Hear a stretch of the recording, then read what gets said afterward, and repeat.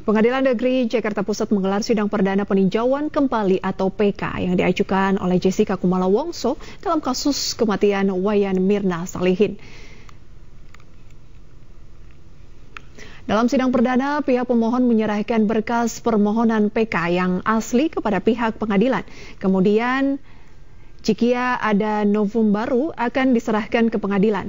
Sidang PK dipimpin oleh Zulkifli Ajo sebagai Ketua Majelis Hakim Berkas yang dikumpulkan akan dikirim ke Mahkamah Agung. Sebelumnya Jessica Kumala Wongso kembali mengajukan PK atas kasus kopi sianida.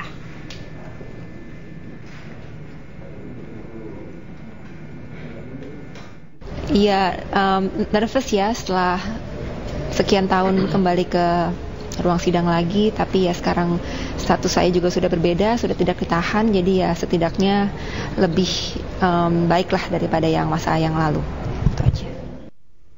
itu uh, tidak ketinggalan. Kita udah kita bawa. Cuman yang menemukannya itu yang harus dihadirkan untuk disumpah. Arti kita sumpah dulu baru dilakukan uh, proses persidangan untuk membacakan uh, memori PK-nya itu aja.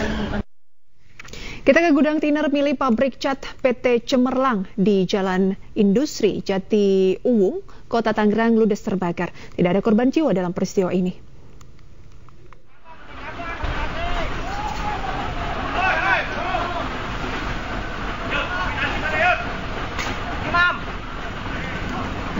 Kepulan asap tebal nampak terlihat akibat gudang tiner milik PT Cemerlang di Jalan Industri Jati Uwung, Kota Tangerang terbakar.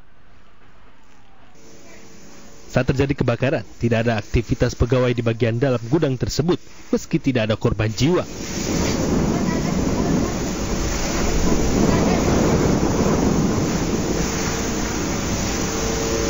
Sempat terdengar bunyi ledakan, petugas pun sangat berhati-hati saat hendak memadamkan api karena banyak bahan yang mudah terbakar. Kesulitan memang kita sumber air jauh ya, itu diperkirakan antara 3 sampai 4 kilo. Berapa personil Pak yang dikerahkan? Personil kita uh, kurang lebih 100 personil. Armada? Kalau armada kita 23 armada, itu gabungan dari Mako, Priuk, Jati Uung, Batu Ceper, Pinang, Cibodas, dan juga kita dapat bantuan dari Kabupaten 4 unit. Sempat ada korban jiwa nggak Pak di lokasi tadi? Alhamdulillah korban jiwa sampai saat ini belum ada. Petugas pemadam yang datang ke lokasi melokalisir kobaran api agar tidak merembet ke bangunan yang lain. Tiga jam kemudian akhirnya api berhasil dipadamkan setelah 19 unit mobil pemadam kebakaran dikerahkan. Atas peristiwa kebakaran ini, kerugian ditaksir mencapai ratusan juta rupiah. Dari Tangerang, Banten, Sukron Ainus melaporkan. Kebakaran juga terjadi di sebuah toko swalayan di Kabupaten Bekasi, Jawa Barat. Diduga api berasal dari arus pendek listrik dari area permainan anak-anak. Hingga kini petugas kepolisian Polres Tambun Selatan masih mencari penyebab pasti kebakaran. Izin melaporkan komandan, uh, naga swalayan yang terbakar harap mengirimkan bantuan unit karena lokasi berada di dalam uh, gedung. Terima kasih. Dari keterangan warga, api pertama kali terlihat dari tempat mainan anak-anak. Kemudian api membesar dan membakar barang-barang lain yang ada di dalam swalayan.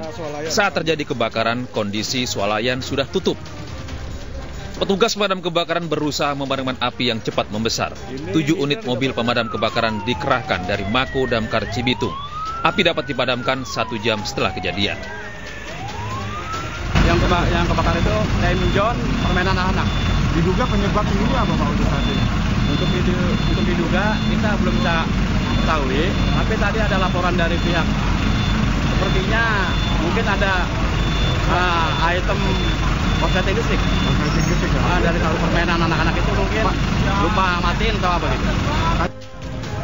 Tidak ada korban jiwa dalam musibah kebakaran ini, namun kerugian diperkirakan mencapai ratusan juta rupiah. Sementara itu, petugas kepolisian Polsek Tambun Selatan masih mencari penyebab pasti kebakaran. Dari Kabupaten Bekasi, Jawa Barat, Didit Junaidi, iNews melaporkan. Kita ke informasi lain pemirsa, sebuah mobil travel pengangkut belasan penumpang menabrak truk di ruas tol Pasuruan Probolinggo di Kabupaten Pasuruan, Jawa Timur. Lima penumpang tewas di lokasi kejadian, sementara delapan lainnya mengalami luka-luka.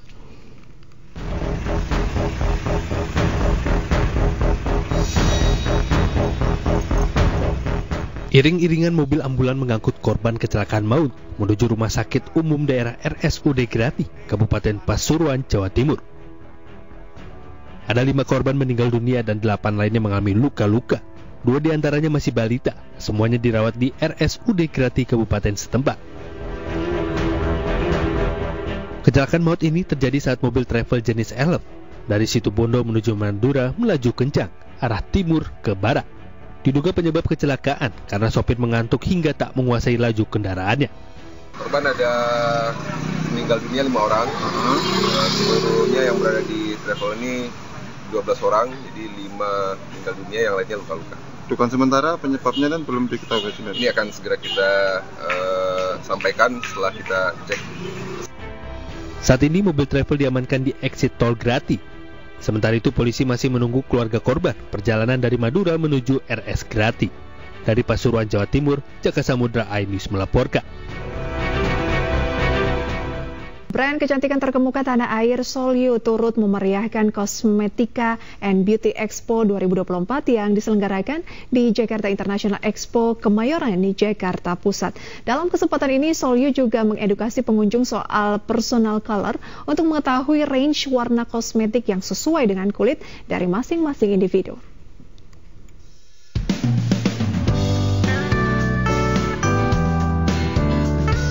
Pameran makeup dan skincare yang telah ditunggu-tunggu beauty enthusiast kembali hadir dalam ajang Cosmetica and Beauty Expo Pospek 2024 di Jakarta International Expo Kemayoran, Jakarta Pusat. Para pengunjung pun terlihat antusias ketika mencoba berbagai macam produk makeup serta skincare berkualitas Solyu yang merupakan salah satu brand kecantikan paling laris di pasaran dan tengah digandrungi kaula muda untuk tampil menawan. Berkolaborasi dengan Color Lab, Solium menggelar talk show bertema How to Find Your Personal Color untuk mengedukasi tentang pentingnya personal color kepada konsumen dan pengguna Solium agar mengetahui range warna dari kosmetik yang cocok dengan kulit. Dengan adanya personal color, jadi kita bisa lebih tahu uh, season-season apa yang ada di diri kita dan nantinya akan membantu banget dalam menentukan shades, terutama untuk menentukan shade-shades yang ada di Solium sih, produk-produk Solium supaya bisa makin banyak brand-brand lokal yang ikut dan percaya bahwa The Cosmetica Beauty Expo merupakan pameran yang cocok untuk para brand-brand ini. Dan juga kami bisa menghadirkan crowd yang cukup tinggi serta aktivitas dan akti, uh, talk show di dalam acara pameran kami tersebut. Sebagai brand kecantikan terbaik dan berkualitas, Solium menghadirkan berbagai macam produk makeup dan skincare yang terbukti aman untuk kulit, seperti Intense Style Lip Stain yang tahan sampai 12 jam pemakaian serta tersedia dengan 9 varian warna. Cosmetica and Beauty Expo yang digelar dari tanggal 18 sampai 20 Oktober 2024 di JE Expo ini memamerkan berbagai brand kosmetik ternama tanah air seperti Solio yang dapat bersaing dengan produk-produk dari luar Indonesia. Dari Jakarta, Rian Rahman Ainus melaporkan.